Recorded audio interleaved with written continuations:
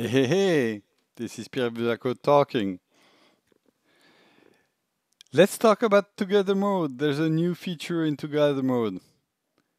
So here is how you select Together Mode.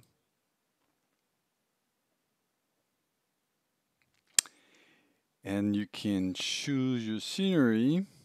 You can select Together Mode for everyone. But the new feature is assign seats. So now I can drag and drop people where I want to see them. Those guys don't get along, so I put them away.